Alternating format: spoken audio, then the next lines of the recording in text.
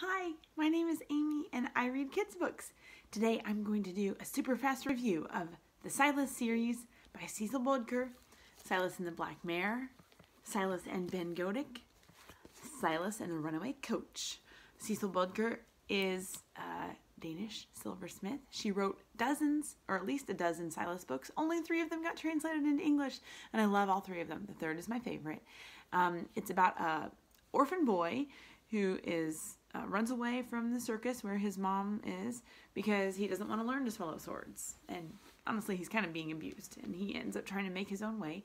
He shocks everybody because he's really opinionated, and, opinionated and capable, but he's also clueless about certain things like relationships. So um, he does manage to make a couple friends who uh, show him some things about that, uh, just about friendship and how family works. Uh, some reasons I love these books are I love learning about the Danish countryside in the 1800s.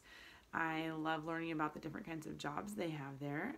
I can never predict what Silas is going to do, even though I know what's coming since I've read it several times, read the book several times. I can't predict what he's going to do next. Um, he he just thinks in a totally different way from me. And one thing I love is when he's completely shocked that someone could be kind to someone else that he didn't even think of liking. Like when his friend Ben Godik is kind to a little blind girl, and he's like, she's a real person. And he's flabbergasted. I love that moment. And lastly, something I love is just all the sensory details. My favorite moment in Silas and the Runaway Coach is when he eats a bunch of pancakes with sugar on them. I can taste them. I can taste them right now.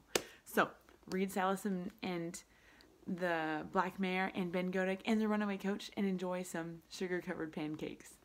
This has been Amy and I read kids books.